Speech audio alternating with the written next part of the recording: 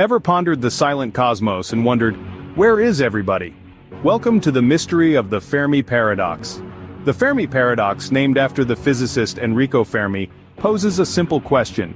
Given the sheer size and age of the universe, with its countless stars and potentially habitable planets, one could expect a cosmos teeming with life. Yet we find ourselves seemingly alone. This paradox, this contradiction between the high probability of extraterrestrial life and the lack of contact or evidence, leaves us scratching our heads. Enter Professor Brian Cox, a man who has dedicated much of his life to pondering the mysteries of the universe. Cox approaches the Fermi paradox from a unique perspective, proposing that the silence of the cosmos might not be so paradoxical after all. Cox suggests that the development of intelligent life capable of manipulating its environment and communicating across the cosmos might be exceptionally rare. He points towards our own history on Earth, where life has existed for around 3.5 billion years, but technologically advanced civilizations have only emerged in the last several thousand.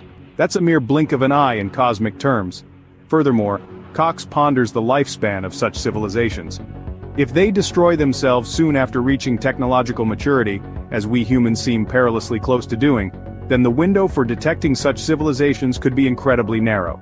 Cox also considers the idea of the Great Filter, a hypothetical barrier to the development or survival of advanced civilizations. This could be anything from a natural disaster to self-destruction. If such a filter exists and we haven't passed it yet, then our future might be more precarious than we'd like to think. In summary, Brian Cox's take on the Fermi paradox suggests that while life in the universe may be common, intelligent life that lasts long enough to make its presence known could be exceedingly rare.